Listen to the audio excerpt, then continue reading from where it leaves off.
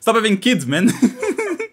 Stop having. Don't have children. Yeah, you greedy. You greedy. bad. But also, what I what I learned today is even if you do have children, your ch- you, like you as a child, you can't now put all that responsibility on your parents. I changed my mind. you can't put that responsibility on your parents because um once you're born, you're born. Like you you have choices in life, Yeah. and So, but make make those choices. Love your life.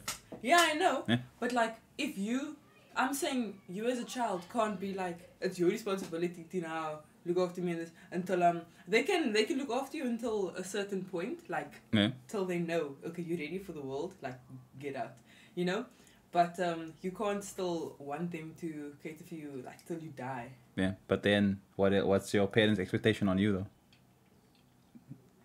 um stay alive I guess just survive Okay. Well, I can I can agree with that. You alive? If you don't want to alive, then then don't alive. what? what did he say? Yeah. Because technically, once you're born, the ball's in your court. Yeah. Like, yeah, everyone. It's not. It, maybe it, it might be junk. You didn't want to be here, but the ball's still in your court, and now from from there, it's your choice. You make decisions. Yeah. Because let's say let's say someone leaves a baby at your doorstep. What must you do? Now, take take it take it to your neighbors. now it's oh my word! I don't want it. I don't want it. Yo, imagine. But anyway, that's a choice you make. That's Yeah. a choice that you make, and it's it is gonna it's your responsibility. Yeah. Like even though you didn't ask for that responsibility, That, it that comes. Yeah. Like it just comes. Now what Yeah. must I do? Yeah. Yeah. So my stuff is more the things I complain about is more of the parents need to understand. But then also the other point of view that I need to get to is that you need to understand that you are alive and you gotta love. If you don't love, you just let you let someone else just take care of you forever.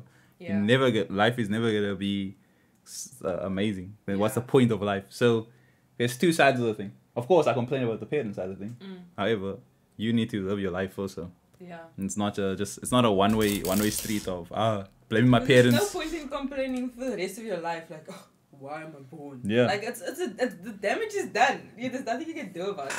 Yeah. So You you yeah you want to continue now loving. It's just about choices. Yeah. And if your parents decide they don't they don't care, not gonna give you anything. What what you gonna do is complain for the rest. My parents are suck. Oh, they so junk. They're junk Yeah. parents. Ah, screw it. They're junk parents. They're junk parents. Move on with your life. What the fuck? So yeah, Nothing good you can do about that. good job. Good game. Good game. No no no get out of here. Man United won yesterday. Yeah. But I didn't watch the game. Did you watch the game? Of course I didn't. Didn't?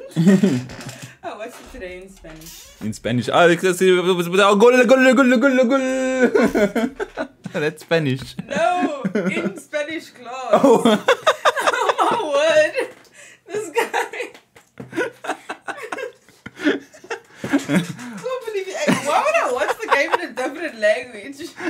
I don't know. Maybe it's not on. Maybe it's not on YouTube properly. So now But it was a good, like, a Nacho scored, Mm. Fred scored, like in extra time. Fred can't go. Um, forgot the other bro scored. That's our own goal. goal. It's not own goal. It was a koi goal, nog That was our own I was very impressed with Why, Fred. why am I still recording this?